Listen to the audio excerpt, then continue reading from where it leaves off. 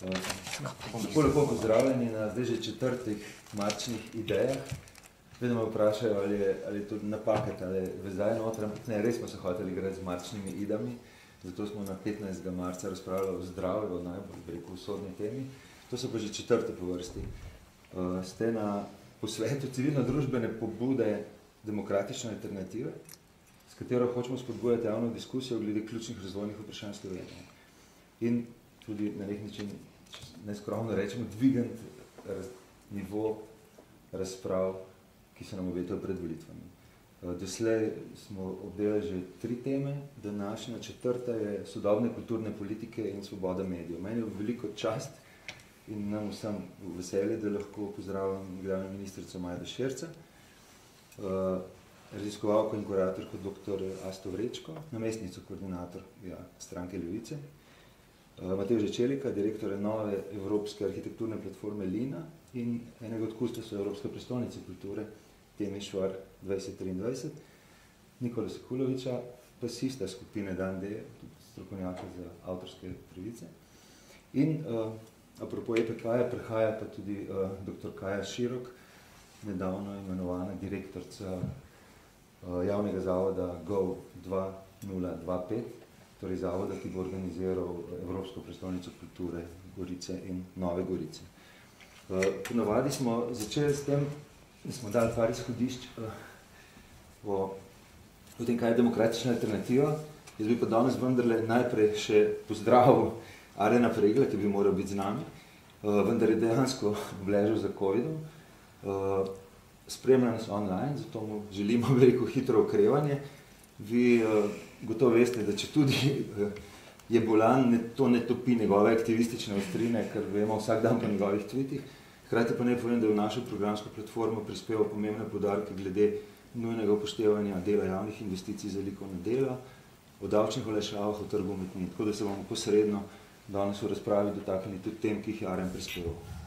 Ravno uh, COVID mi je v bistvu uh, povod za uvod, čist kratek uvod. Uh, ta programska platforma, katere del, katerega poglave danes predstavljamo, je nastajala v bistvu v znamenju dveh katastrof.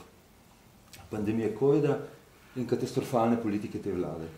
Žal tudi kulturne. In od to si upamo reči, njena kritična, protestna, včasih tudi uporniška ost.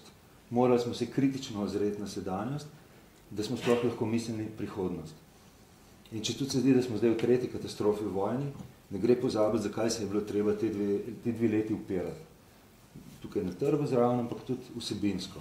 In zato za nalaz začenjam, bi rekel, z provokativnim naslovom petih naglavnih grehov, ki jih ne gre pozabiti.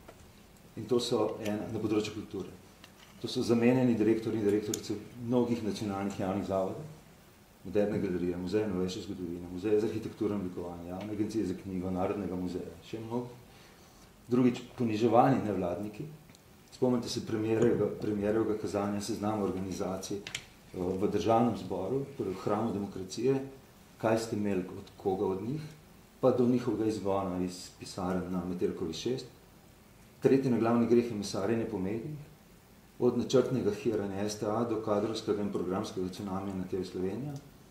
Tukaj bi lahko nadaljevali včerajšnjo razpravo med mladim Medelarjem in Marcelom Štefančičem. Četrta, da se bom ajde strinjala, četrti na glavni greh je enoletna zamrznitev, popolna zamrznitev financiranja praktično kompletne filmske produkcije, ki je na cel segment slovenske kulture in umetnosti v bistvu ustavlja za eno leto z administrativnimi ukrepi. In peti, če se boste vsi strinjali, greh je popolna degradacija javnega diskurza. O kulturi, ampak tudi o politiki in seveda o kulturnih politikah. Kar meni osebno morda najbolj bi, pa da vse to pokrivajo z eno od najbolj željivih izjav, vse smo zagotovili največ denarja za kulturo doslej. Kot da bi dejstvo, da če je denar, ne bo pa mer. Ne. Kaj si upam danes ta naš posvet postaviti v neko drugo znamenje, znamenje nuje ustvarjalnega nemera na različnih področjih in v snovanju kulturnih politik in v ustvarjanju in celo v snovanju, bi rekel, inštitucij na področju kulture.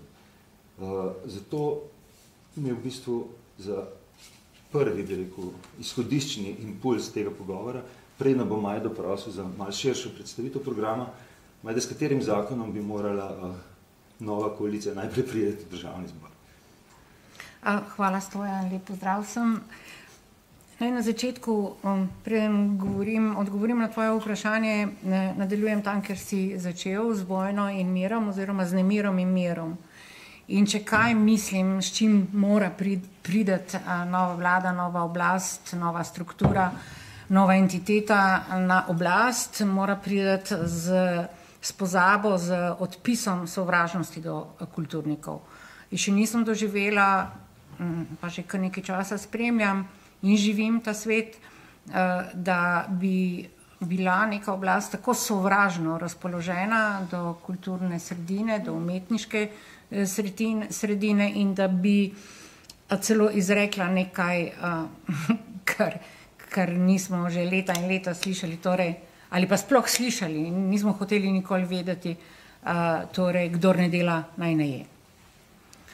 Uh, hkrati mislim tudi, da poleg uh, tega spoštovanja, ki je nujni predpogoj, da sploh katerakoli oblast uh, se naseli na Gregorčičevo ali, ali v državnem zboru ali kjerkoli, je uh, tudi prenehanje tega sovražnega odnosa do, uh, sovražnega odnosa do kulture, ki se kaže v kaznovanju, se je kazalo in se še kaže v kaznovanju v kaznovanju in šikaniranju, v odmikanju spoštljivih in dobrih kadrov, tistih, ki so bili, ki so temu prostoru ponudili neke razvojne opcije, z nadomeščanjem s takimi, ki zavirajo kakršenkoli razvoj. Hkrati pa tudi mislim, če ti odgovorim na tvoje vprašanje, da seveda prva stvar, s katero morajo priti in opažam, da to stranke, ki prihajajo na volitve, uh, to se tega zavedajo, skratka, preden vstopijo tako rekoč na Gregorčičevo ali na Majstrovo, naj imajo pripravljen zakon o RTV Slovenija. 17 let je od tega, ko je, ko nam vlada Grimsov zakon in sprašujem se, kako smo lahko to dovolili oziroma v kakšni neviri je živelo kar nekaj um, struktur oblastnih, ne samo, uh, ne samo desnih, ampak tudi levih, ki so dopuščale tak praktičen zakon, ki je na nek način vsakmu pomalo pasal. Aha, vse, ko bomo pa mi tam, bo pa nam malo odgovarjalo medijsko, kako prevzemanje. Nikaj, ni govora o tem, da je nekomu nekaj všeč na področju medijev zaradi partikularnih političnih interesov. Ne, ti se moraš, če, če vladaš, če, če, če, če si politik, se moraš apsolutno samo omejiti v teh apetitih, ki so dobesedno nagnusni, kot se sedaj kažejo nagnusno in ki uničujejo javni diskurs in uničujejo tudi demokracijo nedvomno. Uh, zakaj pravim zakon o RTV prej kot zakon o medijih? Zaradi tega, ker to, kar, so, kar je danes ustoličeno, po, grims, po tej grimsijadi bo lahko ostalo na, na živ, v življenju še potem, ko bo recimo 24. aprila prišlo do menjave oblasti. In uh, to je pač dobesedno nespodobno. Uh, in še ena stvar, je, ki mislim, da morajo vlada narediti ali oblast, ki bo prevzela oblast, je ta, da pridem stopi na Majstrovo ulico, na Majstrovo cesto, na Majstrovo hišo eh, Ministrstva za kulturo, mora vstopiti na Metelkovo, Metelkovo 6. Uh, govorim tudi v simbolnem, ne samo o pomenu tega. Um, Eh, prebivalcev, ki tam uh, živijo, to se pravi NGO-jev, ampak zaradi tega, ker če komu, uh, če s kom se mora, mora oblast, vlada, predstavniki, ki bojo oblikovali tudi kulturno politiko, ne samo kulturno, ampak tudi kulturno politiko, stopiti v partnerske odnose z nevladnimi organizacijami. Se pravi, pred majstrovo je Metelkova. Skratka, nek pakt, ki pomeni, da smo partnerji, ker samo skupaj lahko nekaj naredimo in to pomembne stvari. Eno so javni zavodi, eno so inštitucije na področju vladnega uh, sektorja, ki imajo neko varnost, ampak če obnovim včerajšnji pogovor, ni, ni varnosti pred svobodo, oziroma svoboda je pogojena z varnostjo in tako naprej. Ampak vendarle, ne, javni sektor ima neko neko trdnost, ki ga nevladni sektor, ki je izjemno ustvarjalno pomemben, uh, ne samo ustvarjalno, uh, in kot je bil ponižen v, v, v tem obdobju, ne sme biti več. Hvala. Skratka, to sem hotela reči, preden a, pridemo do unih tsunamijev, ki so se. Če mi dovolite, samo pozdravim Kaj Širok, torej predsednico IKOM Slovenija, nekdanjo direktorico Muzeja novejše zgodovine in nedavno izbrano direktorico Zavoda GOV 2025. Dobrodošli. Uh, naj samo pojasnim malenko strukturo naših govorov. Privilegij tega, da sedi za centralnim mikrofonom in za računalnikom, je doslej vedno pripadal nekdanjemu ministru. Najprej dr. Damjanu, to prvič, drugič uh, uh, Samuelu Žbogarju, zadnjič Dušanu Kebru. Zato sem Majdo prosil, da kot soavtorco z Mateužem, Marjanom, Mano tega programa, vendar v parih točkah samo povzamem mogoče par ključnih, ali pa če grdo rečem, tisto, kar je bilo najprej treba narediti, poleg zakona v drž- državnem zboru, ko se pride po Simonitiju na Ministrstvo za kulturo. To izkušnjo si že imela. Ja, in ni bila lahka, to pač vemo vsi, ni bilo samo problem, kako bi rekla, ne spoštovanja, ne rokovanja, ne, ne, ne priznavanja, ampak eh, je bil tudi izjemen dizaster. Jaz sicer moram priznati, da zamirim, ko se zamenjujejo vlade, da vlada, ki nastopi kasneje, potem spravi v predal vse to, kar je pripravljala prejšnja vlada. Stojan, ti sam veš, da si pripravil zakon o, eh, v našem času je pripravil zakon o rentah oziroma o priznavalninah in republiških uh, teh uh, nagrajevanjih za samo zaposlene in ostale um- umetnike, ki, ki nimajo dovolj uh, penzije. Ne? In da, da je bil briljanten in usklajen, ampak ne, deset let ga ni nihče videl. Zakaj? Hočem reči, ko so ene stvari pripravljene, še ne pomeni, da so za odvreč od prejšnje vlade, ampak bi jih, bi jih, morala, bi jih morala, po mojem, naslednja tudi ali predelati, ali upoštevati, ali kako koli. Te kontinuitete tudi niso prav logične, diskontinuitete se upravičujem.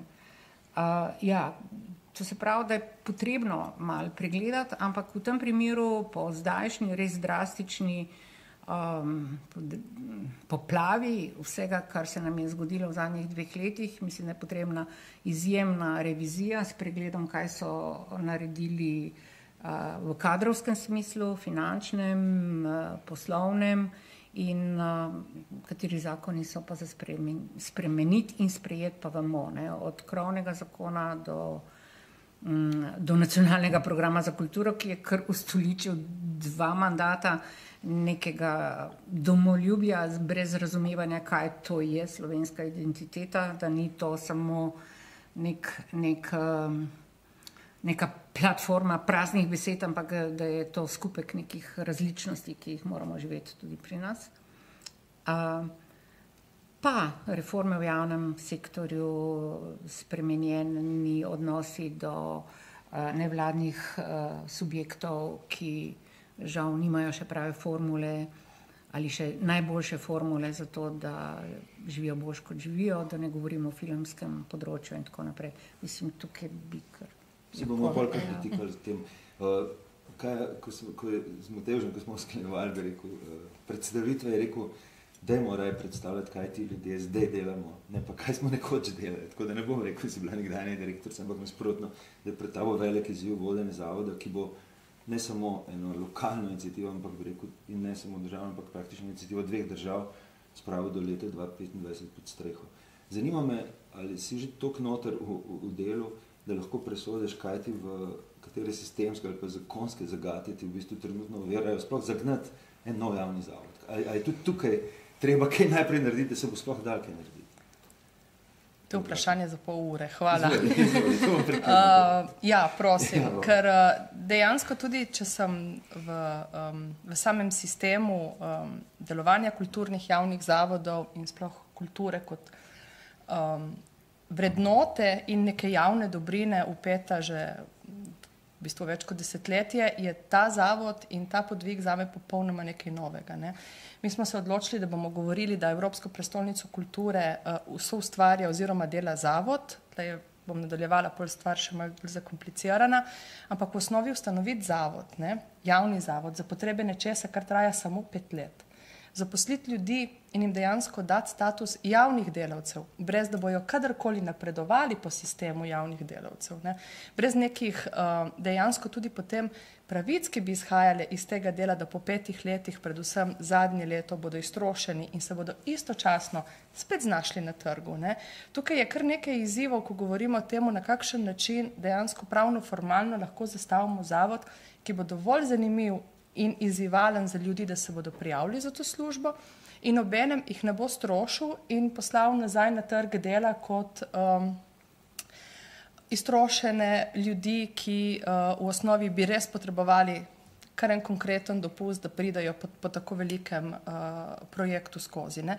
Evropska prestolnica, vemo, je uh, se že zgodila v Sloveniji, uh, vemo, da se dogaja po Evropi na različnih koncih, različne države oziroma mesta se tega na drugačne načine tudi lotijo. Mi smo se um, zelo visoko, ne, torej to ni samo prestolnica enega mesta, temveč je prestolnica dveh mest, kar pomeni, da je na eni strani ena občina, na drugi strani je druga občina, da na italijanski strani to vodi en zavod, ki je pa v bistvu um, medkrajevni uh, oziroma meddržavni zavod, ne, EZTS, uh, torej zbornica, ki se je ustanovila tri občine skupaj in na drugi strani torej bosta to vodila dva direktorja, EZTS in zavod. Ne, zdaj, Dajmo razmišljati, kako bomo te ljudi zaposlili, kako bomo te projekte delali. Ampak ne na zadnje, tukaj je tudi upetost Ministrstva za kulturo, ki je tisti, ki mora dati oziroma se je zavezal, da bo dal denar tudi za uh, izvajanje programov. Ne? Tako da ta stvar je res zakomplicirana in zapletena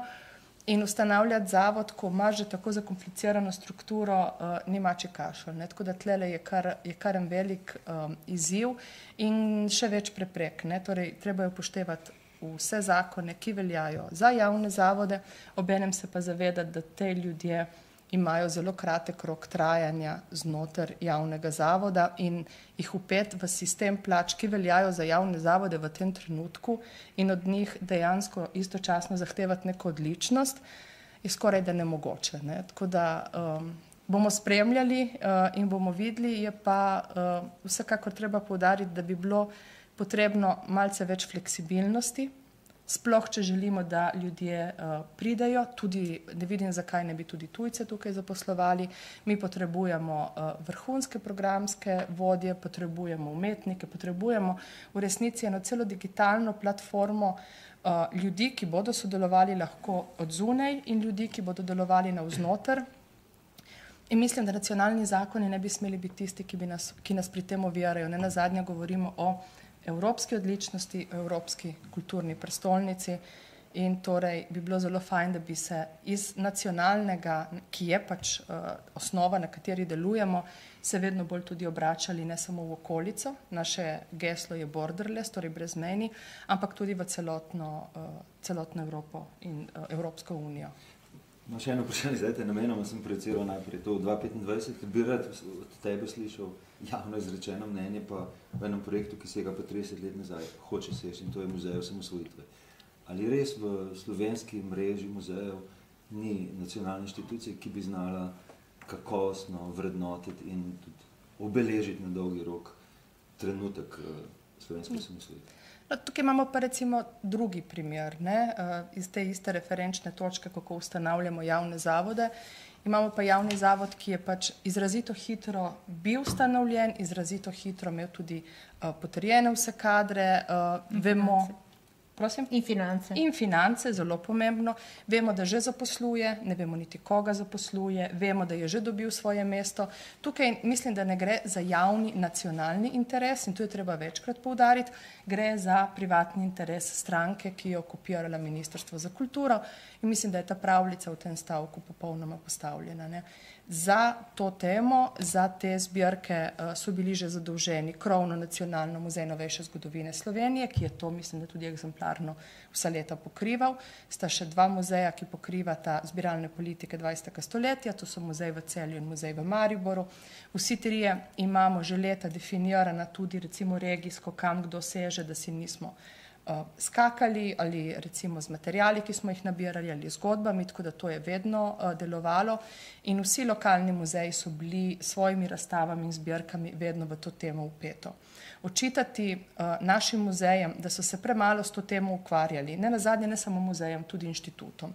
In da je sedaj komaj napočil čas, da je nekdo začel te stvari odkrivati, popisovati in pripravljati um, stalne zbirke.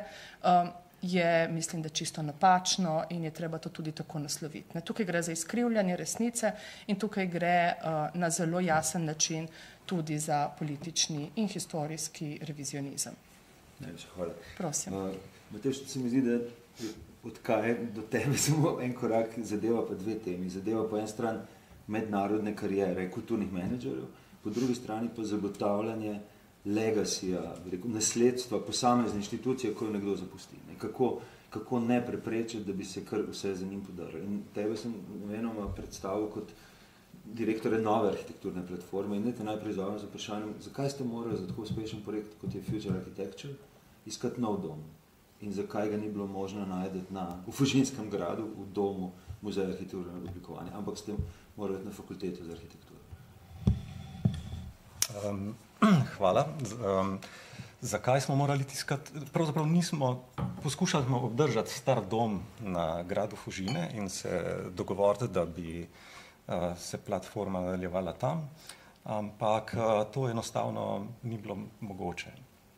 Um, ker je iz, preprosto iz nerazumevanja tega, kaj narava tega projekta je in kaj ta projekt uh, pomeni, je sedanje vodstvo potegano en cel kup um, nerazumnih in uh, potez, ki so pač zbudile nelagodje in nezaupanje pri uh, partnerjih projekta, tako da uh, so poskušali najti novega koordinatorja.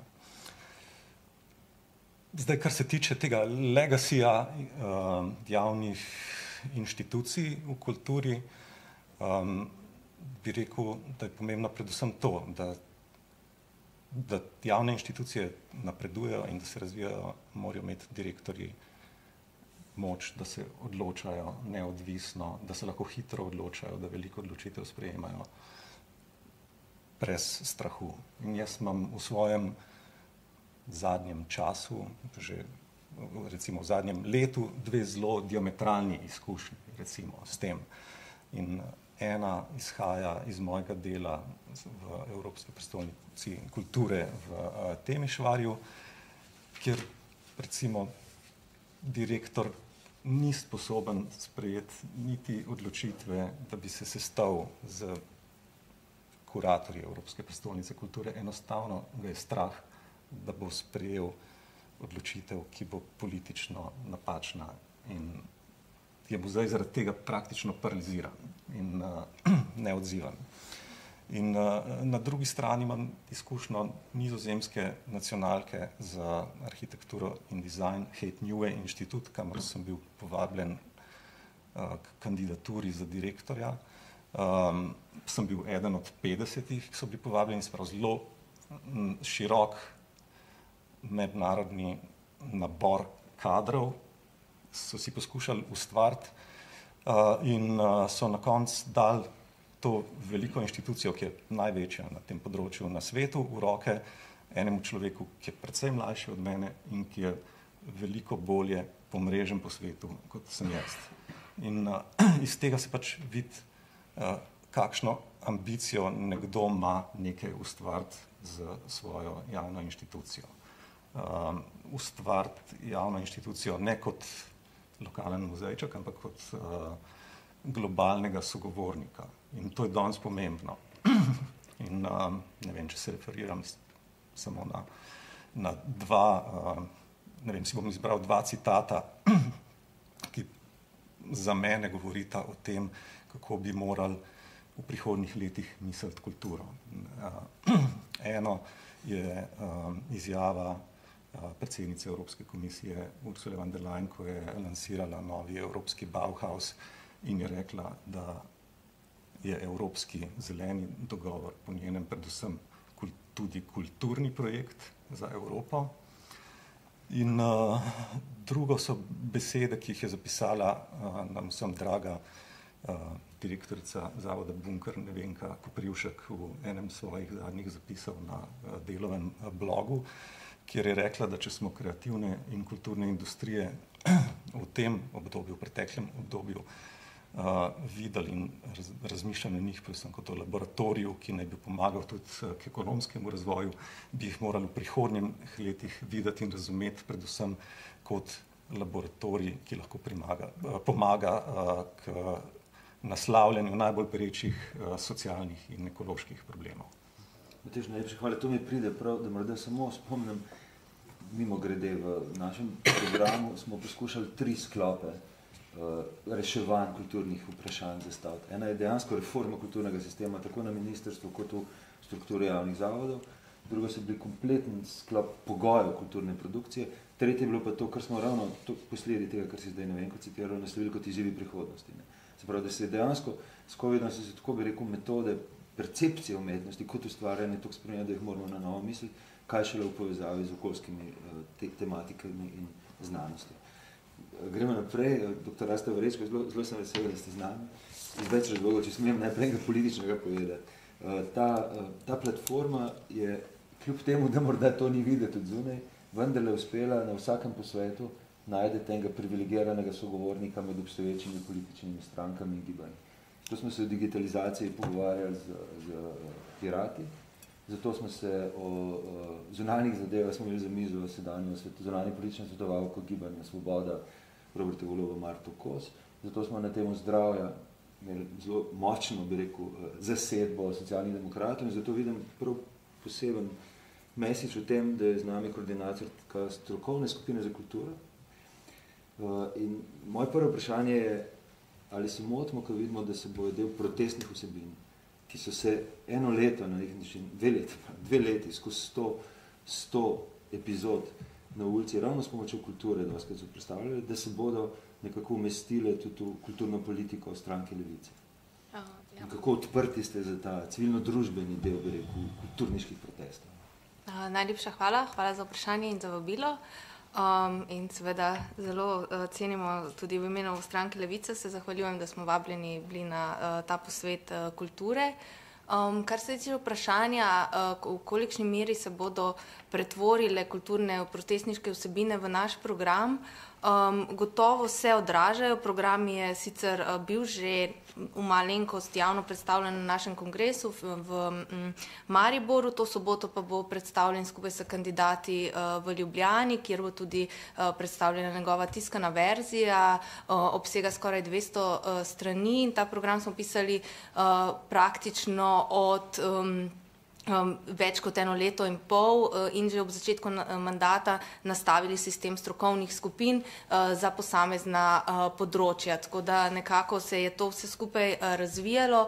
Um, kar je pa še morda tu um, posebej za izpostaviti, kar se tiče povezave s prostešniškim gibanjem, je, da ravno stranka Levica je iz tega gibanja išla, ne iz tega konkretnega zdaj, ampak iz tistega izpred parih let, um, ko je že strašil uh, Janez Janša. Uh, po našem uh, političnem uh, prostoru in potem uh, tudi izmed zaradi gospodarske krize in drugih vzgibov boja proti neoliberalizmu in kapitalizmu je nastala stranka Levica. Tudi mi vsi smo vsaj delno prihajali iz teh gibanj ali iz NGO-jev in tako dalje.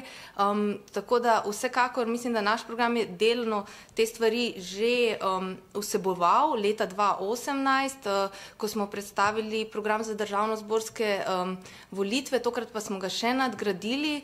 Um, sestali smo se tudi z različnimi uh, skupinami, nevladnimi organizacijami, uh, ne samo na področju kulture, ampak tudi okolja sociale, zdravstva um, in tako dalje. Je pa tudi res, da uh, je zelo veliko naših članov upeto pravzaprav ravno v ta gibanja. Tako da jaz mislim, da bo ta program oziroma ta program že vsebuje uh, zelo veliko uh, najrazličnejših uh, takih vsebin. Hkrati pa seveda tudi so tudi uh, inicijative, ki se dolgoletno borijo, kot je asociacija, um, sindikat Glosa, um, potem tudi um, uprizoritveni delavci, igravci in tako naprej, ki imajo zahteve vse čas take od recimo pokojnin, kar je bilo že omenjeno, strani Majde do uh, potem zdravstvenega zavarovanja in um, tudi recimo ukrepe, ki smo jih uspeli predlagati v državni zbor v teh štirih letih, um, oziroma zdaj že um, osmih, in večinoma niso ne, uspeli, nekateri so,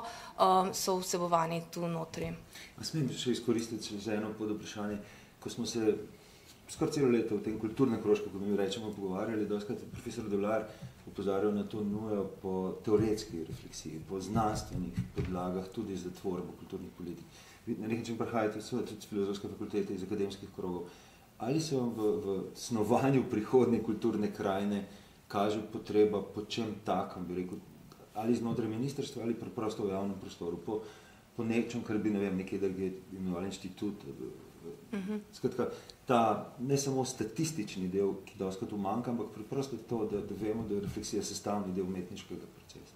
Mislim, meni osebno se zdi to zelo nujno, ker eno izmed mojih temeljnih raziskovalnih področji je ravno kulturna politika, sistem institucionalizacije, zgodovino razstav in velikrat zelo redko pridem do kakih uh, podatkov. Eni taki so bili naredili recimo v 90-ih letih uh, s pomočjo uh, Špelca Čopič in knjig, ki so bile izdane recimo na FDV ali pa različna uh, poročila, ampak nekih sistematskih takih stvari ni. Sicer so izdale poročila tudi kulturne skupnosti, recimo ne, v 80-ih letih um, so recimo tist, no, so tiste stvari, ki so bile takrat napisane um, kot neke podlage, jasno, lahko um, dobre tudi za, um, za današnjo. Nujno je treba izhajati iz analize um, preteklosti, vzeti uh, tisto, kar je bilo nekako v redu um, v kontekstu časa, ne, ne ponavljati. Um, Ampak nujne so pa današnje analize, ne samo stanja danes, ampak tudi mednarodne. Recimo, velik problem je, da ko se govori o tem, kakšna je recimo.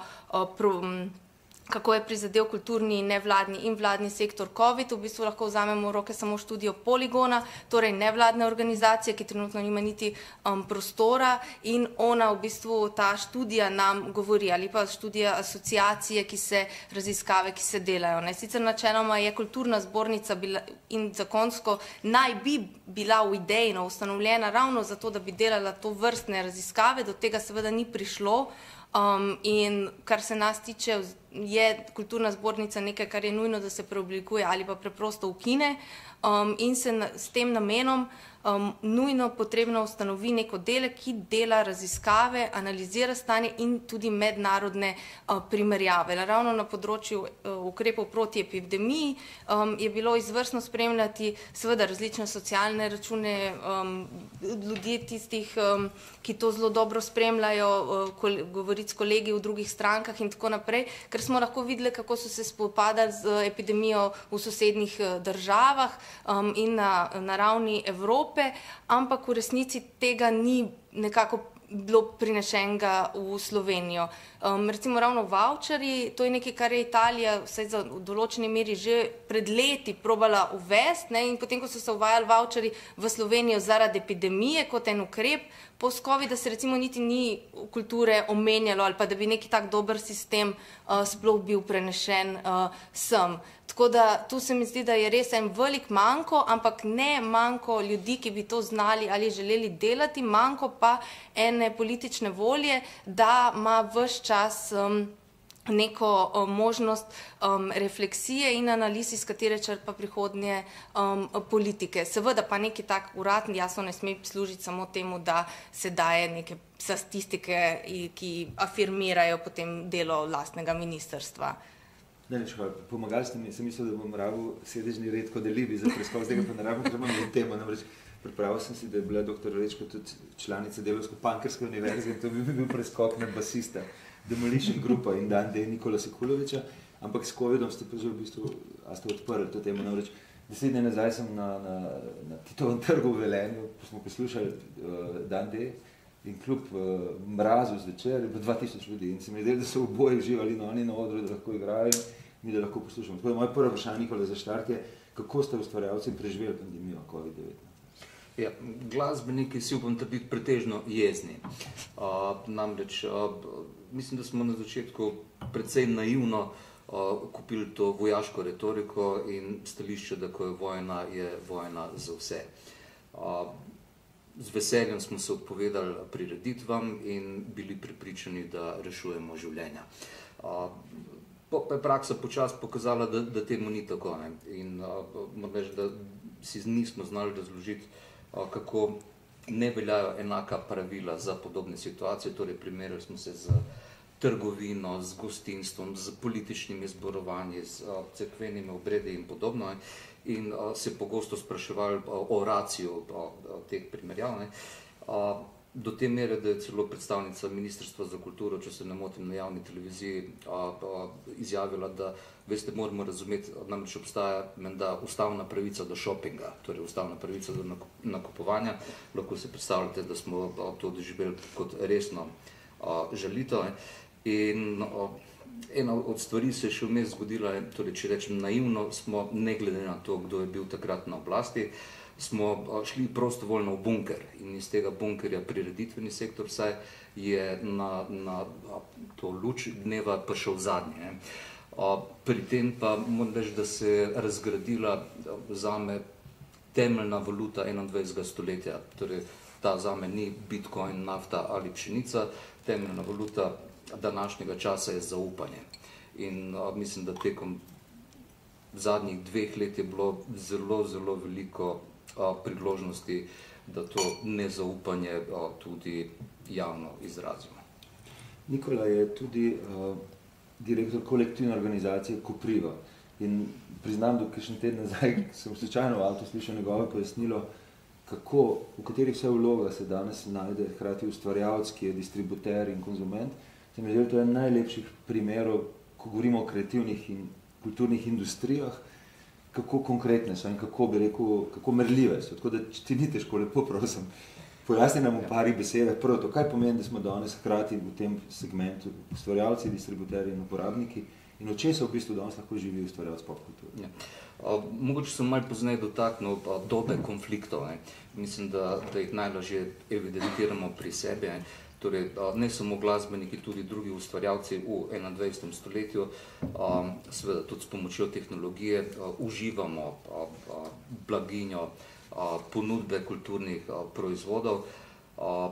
Seveda kot proizvajalci to vlogo zelo dobro poznamo, pogosto smo pa tudi v vlogi posrednikov, torej distributerjev teh istih vsebin. Mislim, da je takrat, ko nastopamo v eni od teh vlog, zelo pogosto radi pozabimo na na, na tisti drugi dve.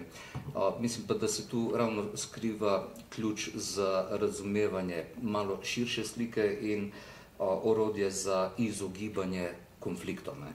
Uh, torej, v 21. stoletju s pomočjo tehnologije doživljamo nove in nove oblike uporabe in za vsako, ko pa rečemo, zdaj pa res že vse izumljeno, se zgodi še nekaj novega in v glavnem prihajamo tudi do sprememb poslovnih modelov in do nečesa, kar je zame izjemno pomembno.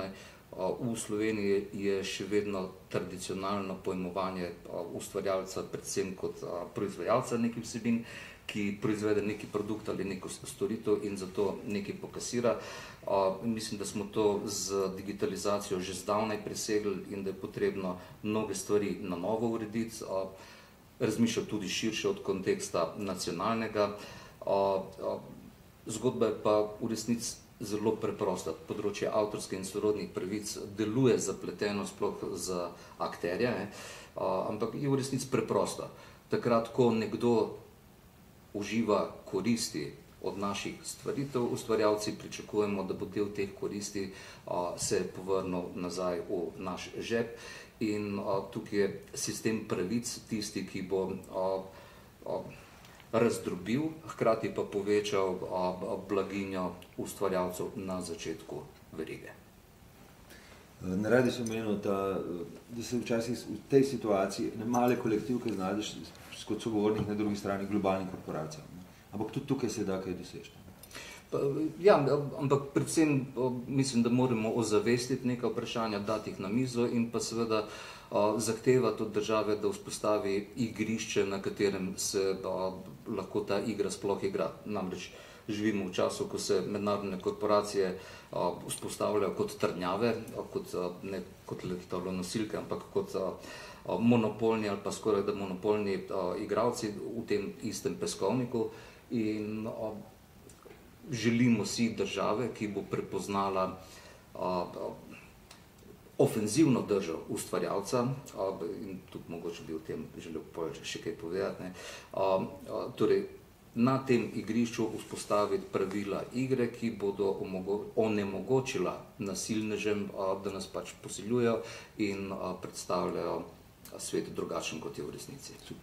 Ne bi to povod, da zovemo publiki še ustanovite, pobudnika, ustanovitelja demokratične iniciative, profesor Jožeta Podamena, ki je v naš, naše poglavje kulturi dopisal en del, ki zadeva vprašanje uh, obdavčitev, uh, davčnih olajšav in načina, kako lahko, bi rekel, z nekim ekonomsko vednostjo pomagajo na nekakšen status ustvarjalcev. A lahko, Jože, v parih besedah, mogoče sem povzameš to poanto, da pa zavrtimo še enkrat. Izvolite, dobrodošli.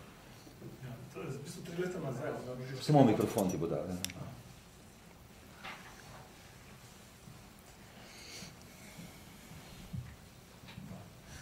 Ja, v bistvu smo štiri leta nazaj sva se z, z Anžetom uh, Bošticem Vohom, uh, v bistvu avtorjem tega portala Počrto, ki je bil nekoč moj študent, uh, sva se v bistvu spraševala, kako povečati uh, sredstva za kulturo, uh, kako podjetjem v bistvu omogočiti, da bi povečali ta sredstva za kulturo preko donacij. In takrat smo imeli še ta prejšnji zakon od davka od dohodka pravnih oseb, ki je omogočil zelo nizke donacije in sicer samo 0,3 odstotka od uh, prihodkov podjetja je lahko bilo namenjeno kot davčno priznan odhodek podjetja, spravi, za toliko so lahko podjetja dejansko donirala kulturi.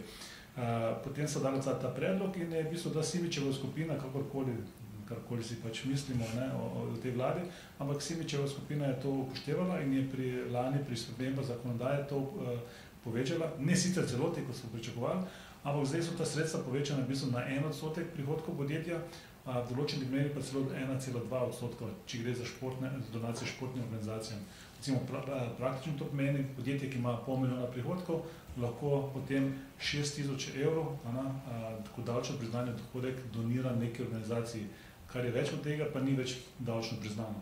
A, jaz mislim, da bi morali ta zadevo še povečati, recimo vsaj na 2 odstotka na, a, prihod, prihodkov podjetij, s čimer bi omogočili, da bi recimo, a, če gledamo nekatera velika podjetja, recimo Krka, ne, ima recimo 2 milijarde prihodkov, ne, lahko namenila veliko več uh, svojih sredstev ne, za spodbujanje kulture, pa seveda tudi drugih, recimo športnih in, in drugih organizacij v Sloveniji. Bože, hvala. Ta prvi krok smo zanelež hoteli pokazati publiki tudi za kamerami, uh, ki by the way, če imate slučajno kakšno vprašanje, lahko preko komentarjev na YouTube pošljete in uh, bo prišlo do naših govorcev in govork. Ampak hoteli smo pokazati, da so kulturne politike več, ne, da so ekonomske, da so aktivistične, da so kreativne, da so institucionalne. Tako da, če mi dovolite, ker smo tako na, na šolsko uro, bi jaz samo vprašal, ali je morda trenutno kakšno vprašanje iz publike, preden gremo v nov krok. Ne. Uh, Klemen, lepo te pozdravljam. Uh, je že zdaj trenutek za kakšno vprašanje? Ali, uh, ja, bom, hvala lepa. Izvoli, pa pa uh, Sem mogoče dosti glasen, da... Izvoli, izvoli. Uh, tako. Uh, Tisto, kar bi mene zanimalo, ne, je recimo raziskava nekih možnosti, kako lahko gospodarstvo sofinancira kulturo, kako lahko podpre. Ne. Zdaj, eno je bilo tisto, jaz zdaj ne vem, kakšno je zatečeno stanje, ampak da recimo ob, eh, ko se naredi nek eh, nov prostor, nova zgradba, ne, da je obvezen nakup eh, slikarskih del. Ne. Kako se to upošteva, pa kako je s tem, niti ne vem, ampak eh, slikarstvo je samo pač en, en segment eh, v kulturi. Ne? Jaz bi razmišljal o modelih, ne? Kako e, širše podpreti, ne? se pravi od filma do stare glasbe, do džeza, etno glasbe, teatra in tako naprej. Ne? Se pravi, zdaj, podjetja ne, niso uh, karitativna dejavnost, ne, gledajo pač svoj profit. Ne. In zato bi bilo treba v zakonodajo ne, vnesti neke mehanizme, da bojo podjetja uh, videla v tem smislu, ne, da se bo njim to splačalo. Ne. Se pravi, da če bojo financirale kulturne dejavnosti, da bojo oni imeli na nek način več. Ne. Eh, samo na nek prestiž, na imič, ne, to je Lari Fari, ne, tega, tega ni. Ne, tako da, ne. Tukaj konkretno, jaz osebno ne verjamem to, da je ta donacija eh, oziroma ta odstotek eh, donacije, ne, da je to nek mehanizem. Ne. Recimo, umenjena je bila Krka, ne, Krka ima svoje kulturno društvo, Krka bo to profit iz tega potegnila tudi kakorkoli že. In bo podpirala svojo, svoje razstavišče, svojo galerijo, svoje kulturno društvo, ta zakon bo ali ga ne bo. Ne?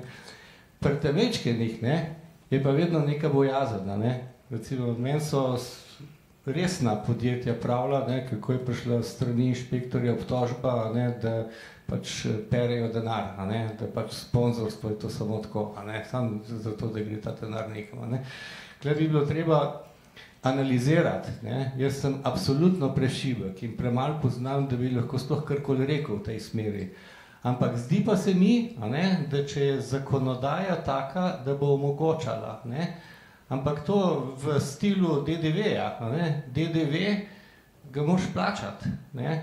Zdaj, če bo nekdo plačal DDV, mu bo zelo težko učitati korupcijo ali pa, ne? se pravi, da je nekaj v, v sam temelj eh, eh, ekonomskega žitja ne? vključeno. Ne? A, in tukaj dr. Davijan ne, bi mogoče lahko tukaj mogoče kaj premaknil naprej. Ne? Mogoče tudi kakšni so modeli dobrih praks po Evropi, ne, sploh v razvitem svetu.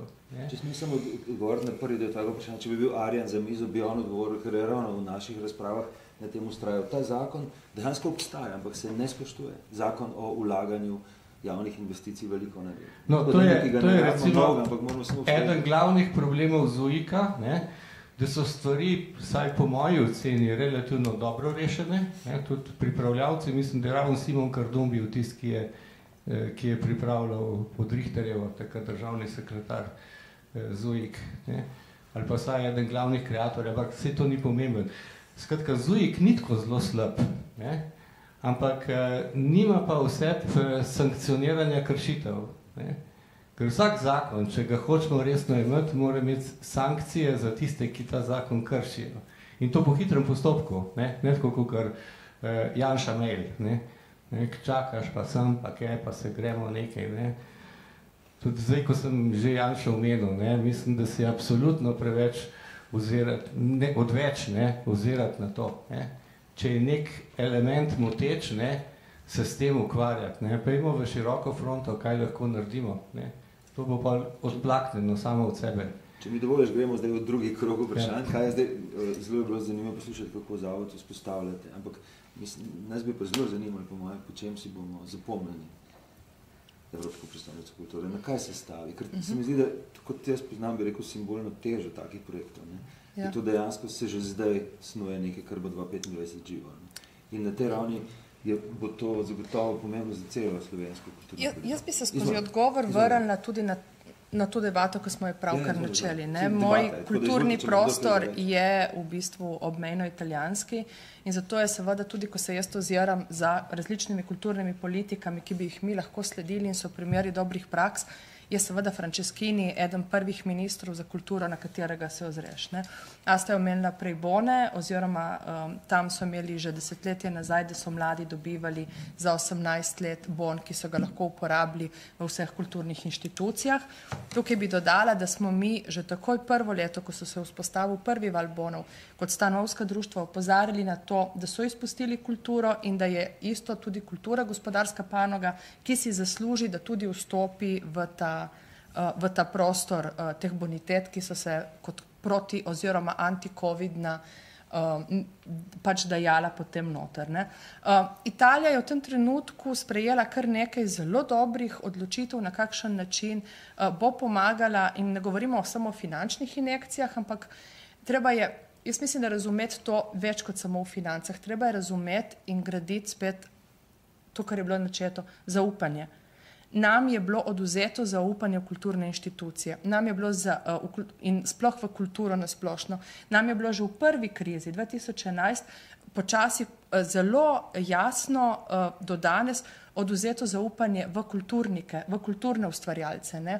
Ta prispodoba, ki se je vedno bolj širila uh, kot neka rak rana, da so to lenobe, da so to neki fušari, da se vedno poskuša nekaj pokriti, to se je tako ujelo v ljudi, da dejansko mi moramo resno graditi na zaupanju v kulturo, v kulturnike in ko bomo to zgradili, ne, ni važno, ker bo zakon. Dejansko takrat bo gospodarstvo vlagalo v nas in v naš sektor. Ko se bo polnomočilo nazaj to, da kultura ni tukaj zaradi kulture sama, ampak da je vrednota, je javno dobro in pripada vsem in dejansko moramo vsi gojiti iste pozitivne vrednote do njega. Ne. Italijani so recimo naredili dve zelo močni stvari. Stvari ena je, da so zdaj tudi preko denarja, ki je prišlo z Evropske unije, šli načrtno v revitalizacijo določenih krajev, ki niso najbolj znani, ki niso najbolj pomembni in kar nekaj milijonov bo šlo v to. Naprimer, tukaj se bom navezala na Evropsko prestolnico kulture Nova Gorica, Gorica. En delež, torej 20 milijonov, bo šlo v, na Goriško oziroma v regijo Furlanijo, eh, del bo za obnovo Goriškega gradu in poleg tega so seveda tukaj še manjši projekti, ki na italijanski strani bojo obogatili eh, čas Evropske prestolnice prestolnice na kulture. Na naši strani je tako dva glavna infrastrukturna projekta. Ena je obnova Vile Rafut, to je Laščakove vile, ki jo vsi poznamo kot arabski biser uh, v srednjem evropskem prostoru, za katere še uh, po mojih informacijah nimamo zagotovljenih sredstev za dokončno obnovo. In drugo je seveda revitalizacija celotne kolodvorske poti oziroma tega medmejnega območja med Italijo in Slovenijo. Če se obrnemo na že imenovani nov Bauhaus, je to točno to, kar Evropa pravi privilegirane, deurbane uh, cone vzpostaviti nazaj, v našem primeru v nek kulturni distrikt, kjer bi zgradili tudi novo stavbo na meji, za katero se je pač vmes ugotovilo, da pravno formalno ne bo mogoče, zato ker uh, ideje so dobre, ampak veliko krat, ko prideš potem do realizacije, kdo je lastnik zemlje, kdaj dobimo gradbeno dovoljenje, kdo kam, kaj plača, torej tle imamo neko stavbo na pol, torej se duplo plačuje v eni državi in v drugi, ne, se zelo hitro ugotovi, da se računica uh, ne izteče. Ampak to je izziv. Ne. Izziv Evropske prestolnice Gorica, uh, Nova Gorica, Gorica je ravno v tem, da poskuša pilotno gledati čez meje in da v obmejna območja, ravno tudi skozi te debate, kje se plačuje DDV, kje se gradi, kje je kakšno upravno enoto je treba iti določene stvari urediti. Ne. Uh, to birokratizacijo, ki jo, je, ki jo je vedno več in smo jo prepolni, poskuša na pilotnih projektih, kot je ta, um, omiliti. In dejansko na tak način tudi prostor uh, tudi zaživi. Um, Ja, nisem po mojem že preveč časa ne, govorila. Ne, ne, ne, vprašanje izven agende, ampak se mi zdi, da je kaj s tem, kar se je Italija dotaknila. V, v, v tvojem času je skica nastala na, kot prva na, v Avstriji, v Dunaju, potem je bila še Berlinska.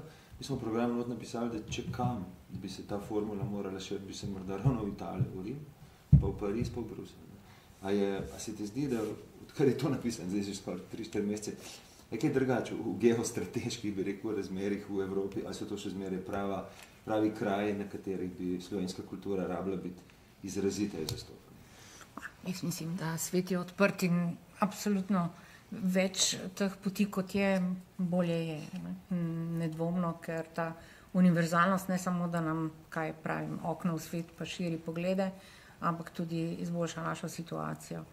Se pa ob tej priliki moram še navezati na enih par eh, do sedaj izrečenih stvari, ki se mi zdijo zelo pomembne. Jaz se bom pravzaprav zelo, zelo dobro in še najbolj zapomnila iz preteklosti enega mojega obiska na Ministrstvu za kulturo na Švedskem. Uh, zakaj? Zaradi tega, ker malo se opada tudi s tem, kar smo danes uh, govorili, uh, v smislu potrebe po neki agenciji, inštitutu, oddelku, ki bi uh, raziskoval platforme, ki bi potem odgovarjale in pomagale odgovarjati na vprašanje, kateri so ti izven proračunski, recimo, nivoji za pridobitev, ki, mislim, ki bi ne samo statistiko, ampak tudi usmeritve dejal. Za me osebno, zmeraj sem govorila o tem, da je politika velika umetnost vodenja. Uh, večja ali enakopravna ali podobna kot katerakoli umetnost druga, ki zahteva uh, izjemno širino in okay, globino. Uh, in in uh, tega ne moreš vse vedeti in se znati, ker je ta umetnost res posebna. Ne smeš porušiti nekih razmeri, oziroma ko vzpostavljaš nove, ne smeš raniti druge, oziroma iskati neko dobrobit, ki ni tako enostavna. To je arhitektura, ki je ena kocka podreš, a ne, lahko gre vse dol. Ne. Ali pa narediš to, kar smo delali, ko smo delali zakon o vlaganju, deleža vlaganja v, v arhitekturne, nove in druge investicije, ki je sedaj že deset let star, pa ne, nisem videla ene realizacije, ki bi se zgodila na ta način, da bi kipari, slikari in glasbeniki ali katerikoli drugi umetniki pri vsaki investiciji, ki je vredna koliko smo dali mejo, tri milijone um, ali manjše, ja, uh, morala participirati tudi umetniška stroka. To je ta izven proračunski denar.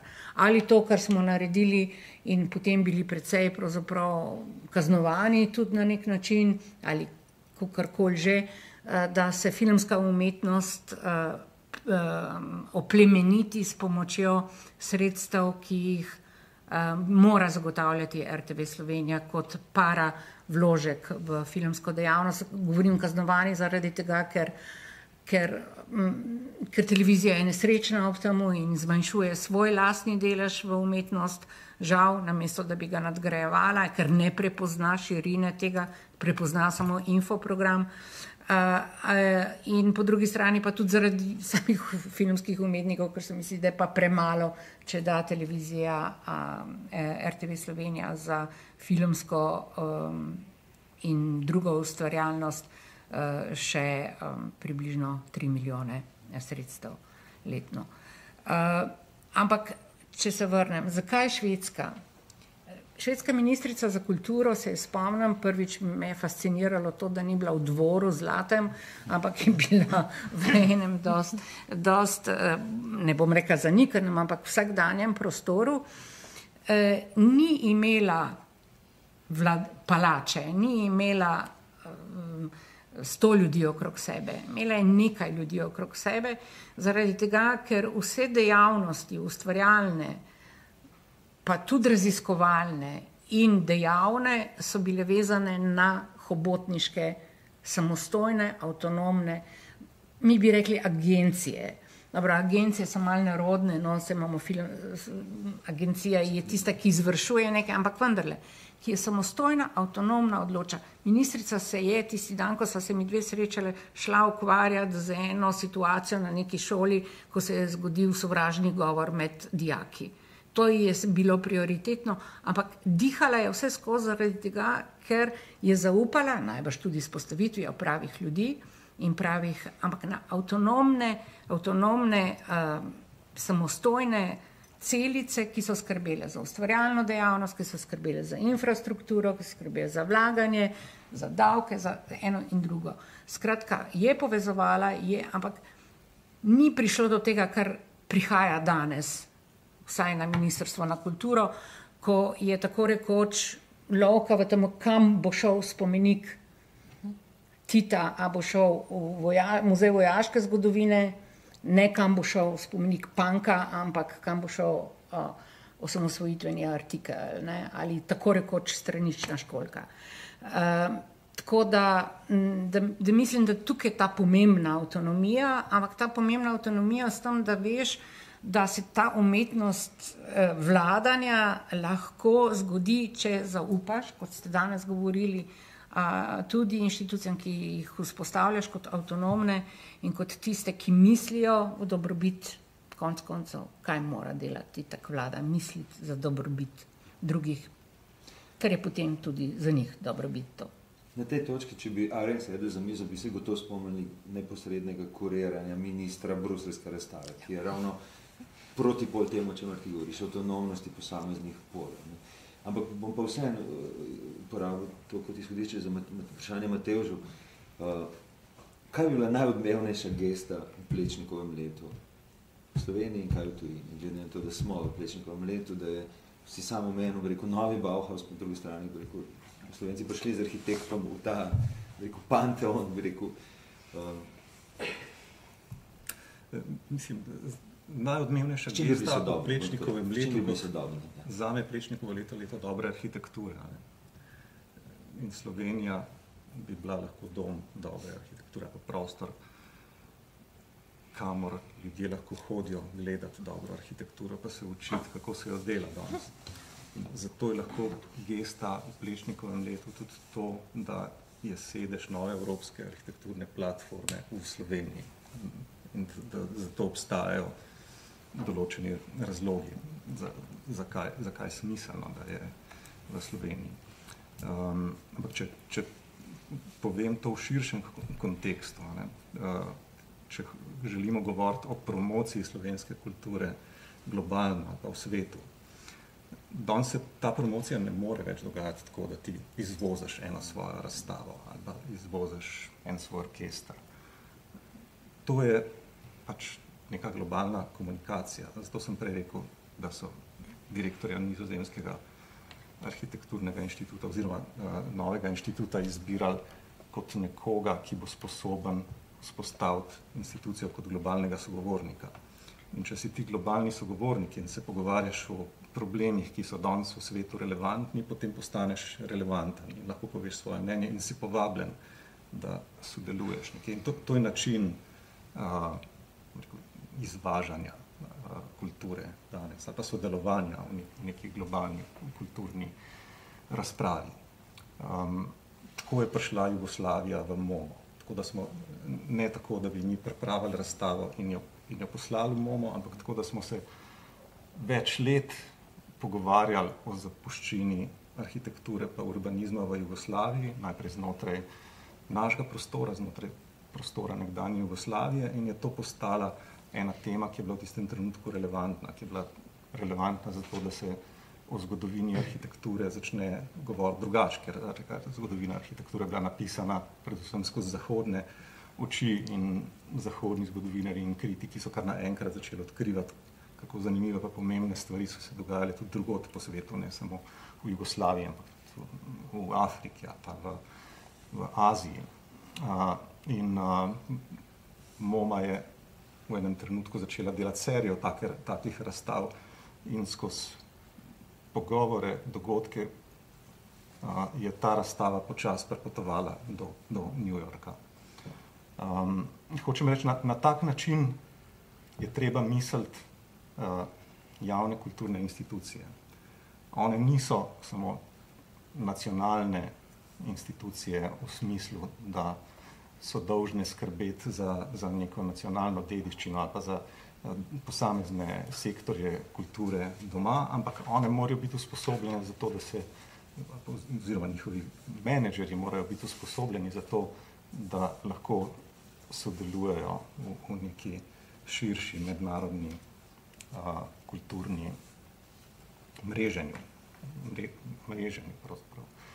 To mreženje je danes vse bolj pomembno. Ne samo z vidika te razstave, ampak tudi zato, ker je to najbolj dober način, da se ti lahko učiš a, novih načinov dela in novih, novih modelov organizacij. Najlepša hvala. To mi da povod, da čist iz prvi stavk vizije tega našega poglavja še enkrat preberem, ker smo napisali, da je vizija razvoja slovenske kulture, da je ustvarjalec individualnih obzorij in dejavnik družbenega razvoja. In to tako, da s procesi vrhunske ustvarjalnosti tvori laboratorij prihodnih znanj in odnosov, s popularno kulturo pa je bistven tvorec navad in vedenja. Ne. Se mi zdi, da to, kar sem zdaj slišal v tvojem odgovoru, je nek način misli to oboje skupaj, ne. da sežeš do vrha, ampak hrati pa v bistvu vplivaš. Ne. Uh, če smem tako reči, glede na to, da se je uh, skozi dosedanje pogovore o kulturi uh, uh, se je uh, uh, Kaja se je oglasila pri uh, gibanju Svoboda, uh, Asta je z nami, uh, Renata Zamida je bila omenjena, vidim, da uh, Petra Kuleto uh, se močno izpostavlja pri socialnih demokratih. Asta se vam zdi, da bo prihodni minister za kulturo ministrica? Tega vam sicer ne morem reči, ker ne vem, kdo bo se. Vsekakor pa um, je, kot sem že rekla, kultura ena izmed prioritet uh, stranke Levica.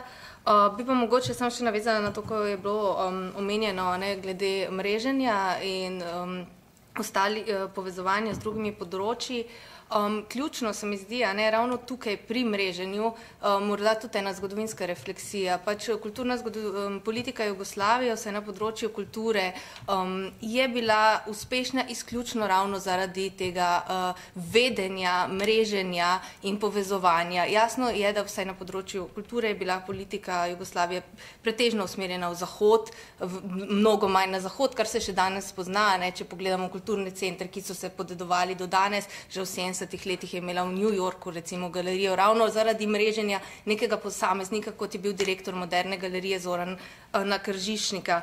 In uh, tukaj uh, vedno so bili tudi omenjeni procenti za kulturo. Zdaj imamo deset let zakon, ki ne deluje, a hkrati, če gremo po Sloveniji ali pa po področju nekdanje Jugoslavije, imamo večino stavb, ki imajo arhitekturni ali umetnosti okras, brez zakona. Jugoslavija, kljub temu, da je bila socialistična država, ni imela nikoli tega zakona.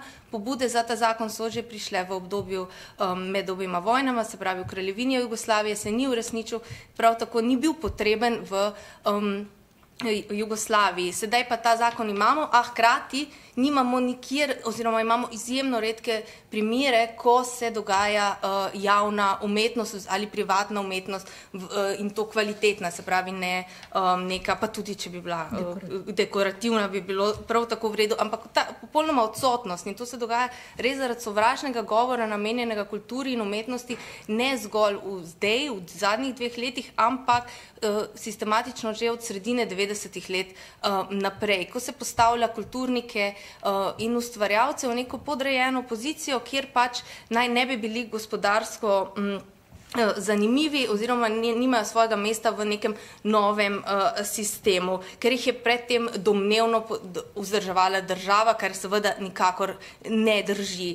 Um, in ravno to pride do, do moje zadnje točke, ne, da morda uh, je treba obrniti tukaj tudi logiko. Kultura uh, in umetnost ali ministrstvo za kulturo mora biti en ključen ne, katalizator in mora biti nekdo, uh, ne more delovati samostojno. Nujno je medresorsko povezovanje, ne zle uh, z izobraževanjem, ampak uh, tudi, recimo, uh, kot je rekel Matej, zakaj ni to leto dobre kulture? Kako naj bo to leto dobre kulture, ko se konec leta spreme zakon o gradbeništvu, ki popolnoma devalvira delo arhitektov in urbanistov, se pravi v takih okoliščinah dobro dobra arhitektura jasno nastaja, ampak s hudimi mukami in interesi so, da se to vrstne stvari uničijo. Uh, in potem, seveda, Ministrstvo za gospodarstvo ni zgolj problem tega, da mi nimamo neke sistemske spodbude podjetij.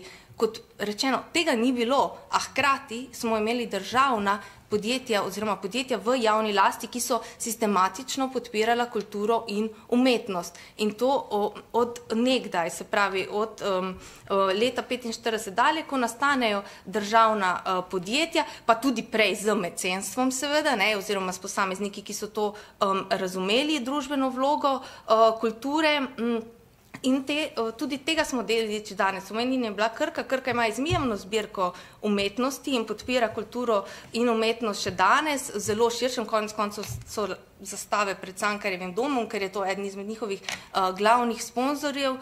Um, ampak to vse je imela veliko podlago. Um, Pred desetletji, zakaj? Ker je to bilo v, tudi v družbeni lasti in kultura in umetnost v podjetjih, v dru, eh, v družbeni lasti, se pravi, um, je imela vlogo ali v Muri, kjer je bil park skulptur in je danes pač v Pomorski soboti so te uh, skulpture še vedno obstajale, bile so zbirke, bile so gledališča, bila je glasba, uh, bila so društva in problem tukaj se pravi, po mojem mnenju, ni zgolj sistemski spodbud, problem je to, da ko podjetja se razprodajajo, ko ni več državnega premoženja, ko kupijo stvari multinacionalke, ni več nobenega interesa vlaganja v skupnost. In če ni interesa vlaganja v skupnost, potem tudi ta, tega zavedanja um, enostavno ni. Tako da mislim, da je to treba logiko obrnati in misliti res kulturno širše, tudi z povezavi s ostalimi ministrstvi, ki omogočajo razvoj posameznih sektorjev. Izvolite. Izvolite, izvolite. Samo mikrofon. Ja. Izvolite. Hvala, ste za to pamet.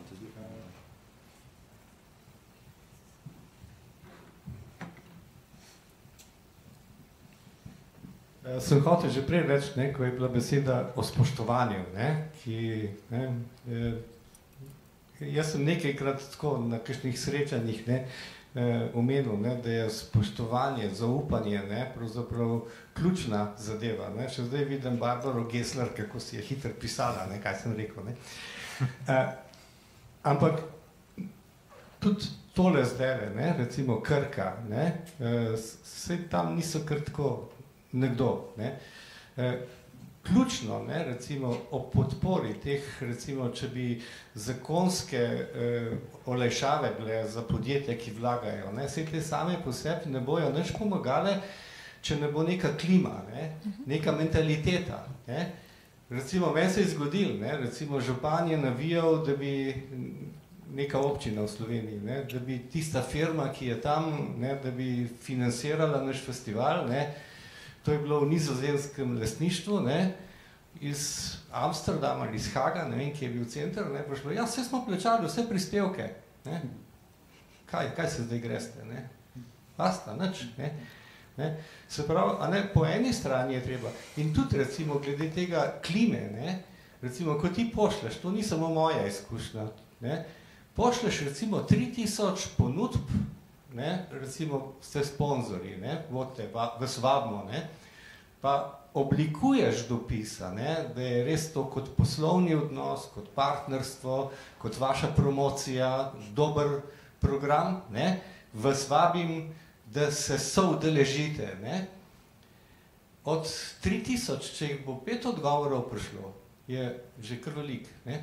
In čisto vseh pet bo, ja, zdaj pa že vlagamo kaj v Caritas, pa damo tam unim zamorčkom, pa tisto, ne, vse bi vas podprli, bi vam pomagali, ne, ampak, ne, recimo, to klimo bi moralo Ministrstvo za kulturo preseči, ne, to mentaliteto, ne, da je kultura nekaj, kar potrebuje doptince, nekaj, kar potrebuje miloščino, ne, nekaj, ko daš nekam še tista dva zadnja novčiča, ki jih imaš, pa bomo še klele dali, da bo mir. Ne. Ne, da nastane poslovna potreba vlaganja, ne, da so podjetja ponosna, ne, Krka je ponosna na vlaganje, ne, Krko poznam, ker smo dolg časa skupaj že. Ne. In Krko je bilo težko prepričati, ampak zdaj je kot tsunami. Ne. Ne, To sem hotel reči, ne, da to je mogoče ena od političnih prioritet ministrstva, ne, da, da naredi nekaj na tem odnosu. Ne. Mi sami, kulturniki, bolj težko. Ne. Hvala lepa. Hvala. Na mesto brezplačne predlaga kulturo. Prosim? Da brezplačne, ko vlaga, vlaga kulturo. Jaz se hotel posebej Asti zahvaliti za to podarkne skupnost nam, zato ker prvo, ko smo imeli uh, prvi posvet, je v bistvu Bogdan Biščak nastopil z temo, da, da če ni demokracija brez ekonomske demokracije. In zelo podrobno s kolegi predstavil vprašanje so lesništvo, so uprav vsega tega. In se mi zdi, da je dejansko, ko prideš do, do tega skupnostnega momenta pri kulturi, prideš do podobnih vrednot. Uh, rad bi, da ne ostanemo čist brez uh, stika z, z vrhunsko ustvarjalnostjo uh, in s popkulturo. Zato nikoli se, se prav, še enkrat se vrnem na tisti trg tam.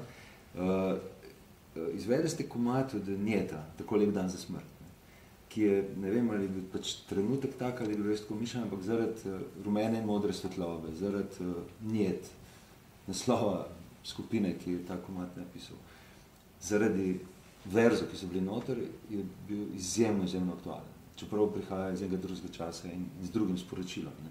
Ampak je zadev bistvo tistega trenutka. Kaj misliš, kaj bomo poslušali čez štiri leta? Torej, ja, jaz prihajam iz sfere pop glasbe, torej sem v resnici tudi precej velik zagovornik trga. Želim si seveda nek intervencije strani države, ki omogočajo neko normalno igrišče za to. Kar se tiče pa vprašanja, pri izdelkih pop kulture, podobno kot s citati kakih latinskih izrekov, vedno se jih da uporabiti ali zlorabiti in ja, ta skladba gre za neko reinterpretacijo tradicije, ki je bila že parkrat sprocesirana. Tukaj je šlo za neko lučno intervencijo, ki je bila stvar trenutka v momentu, ko je naš lučkar prepoznal simboliko, ki jo je sam ustvaril intuitivno, jo je še dodatno našponil, ampak Tu se mi zdi pomembno izpostaviti po koncertu, ko smo se pogovarjali o tem, tudi z Lučkarjem, torej Niko Podlesnik, ki bi skorda pobegnil iz tega sektorja, vmes že delo v Avstriji na jezovih, višinska dela, pa elektrarna Šoštan in zdaj se je bedak spet vrnil nazaj v prireditveni sektor in um, utrpel posledice tega, ker je pač delo na trgu je negotovo, torej njegov glavni delodajalec mm. čez poletje, Bog pomaga, en član je umrl in je znamenita skupina morala odpovedati celotno turnejo po bivši Jugoslaviji. Torej, ko smo se pogovarjali o tem, smo trčili tudi v, v neke te stvari bistveno širše. Torej, tudi v 21. stoletju imamo povsem enostavne vrednote, življenje, zdravje, premoženje in imamo tudi v, v duhu te ukrajinsko-ruske vojne oziroma kakorkoli specialne operacije. Vidim, mislim, da zaznavamo seveda fizično nasilje, nekaj, kar smo mislili, da je stvar preteklosti, preteklosti, hkrati pa vidimo tudi vpliv, kot pravijo, duha ali pa kulture, tako na eni in na drugi strani pa spet globalizacija te zadeve. Če me vprašaš, kaj bo čez štiri leta, se bojim, itak napoveduje se, napoveduje se druge oblike nasilja, ne, ki bi naj zadevale preomenjene življenje, zdravlje, predvsem življenje. Ne. Torej, hrana, voda, zrak, torej brez zraka biti dve minuti ni fajn, ne, a, brez vode dva dni, mogoče brez hrane en teden. Torej, a, če bo a, prišlo res do teh drugih oblik a, nasilja, a, bomo pa pač izvajali skladbo voda, ta se mi zdi, da je, da je primerna in tudi, a, a, moram reči, v luči poskusa kaznovanja določenih posameznikov povezavi s petkovimi protesti, a, lahko tukaj tudi a, javno izrečemo, da a, smo s to skladbo tudi sami podprli tisti referendum um, lani poleti in da, da se nam zdi kakršen koli poskus kaznovanja res nesorazmeren in neprimeren. Jaz ne na tej točki, ne če smem v imenu vseh reči, ampak jaz pa sem rekel, Brcelu sem obljubil, da bom danes rekel, ponovil to, kar je on včeraj na koncu tudi City, da ga pač eh, podpiramo kot, kot na nek način simbol tega, kar se na RTV Sloveniji dogaja, ne samo z njegovim, ampak tudi z drugimi oddajami. In da smo hkrati pripričani, da bo našel druge načine in kanale, ravno ker bolj kot delodajalci razumejo sedanjo družbo in njene kanale, kako pride do ljudi, ki ti hočejo jim prisluhniti in se s tabo pogovarjati. Jaz, če, če morda ni med vami, bi rekel še kakšnih dodatnih replik ali pa komentarjev, bi morda sem še enkrat vprašal publiko, drugače pa predlagam, da sklenemo. Da sklenemo, zelo, zelo veliko nam je pomenili, da ste bili z nami in da je bila razprava uh, zelo fajn. Tako da, uh, jaz si upam že napovedati, da je to bil četrti od petih posvetov in da bo prihodni tork uh, v isti uri na istem kanalu uh, še posvet na temo okoljskih sprememb in hkrati vpliva tehnologije na soočenje z njimi, uh, ki ga bo moderiral kolega Drago Babič, uh, sestava in, in uh, bo pa še poročeno vabilo. Tako da, iskrena hvala vsem petim in vam, ki ste, in vam petim, ki ste prišli.